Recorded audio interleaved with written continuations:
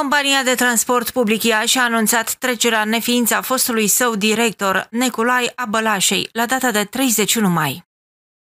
Nicolae Bălașe a fost un lider dedicat și respectat, contribuind semnificativ la dezvoltarea și modernizarea serviciilor de transport public din Iași. Prin munca sa neobosită și viziunea sa clară, a adus îmbunătățiri considerabile în ceea ce privește eficiența și calitatea transportului public, lăsând în urma sa un sistem mai bine organizat și adaptat nevoilor comunității. Domnul Nicolae Balașe a fost un lider dedicat și respectat, contribuind semnificativ la dezvoltarea și modernizarea serviciilor de transport public în orașul Iași.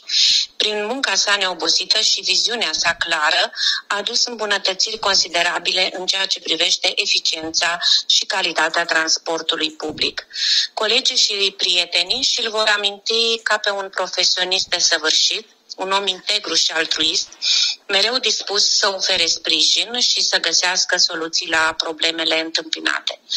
Domnul Abalașie a fost un mentor pentru mulți dintre colegi și un exemplu de urmat prin devotamentul său față de muncă și comunitate. Compania de transport public își transmite sincere condoleanțe familiei îndurerate și tuturor celor care l-au cunoscut și prețuit. Absolvent al Facultății de Electromecanică din cadrul Institutului Politehnic Iași, Neculaia Bălașei și-a început cariera la întreprinderea de transport în comun Iași, pe data de 1 iulie 1977. A fost promovat în funcția de șef de secție în 1980, iar din 1990 a ocupat diverse funcții de conducere director adjunct, director exploatare și director general. Începând cu anul 2006 a fost numit director exploatare în cadrul regiei autonome de transport în comun Iași, de unde a ieșit la pensie în anul 2010. Înmormântarea va avea loc pe data de 4 iunie la ora 12 la cimitirul Zana din Ciurea.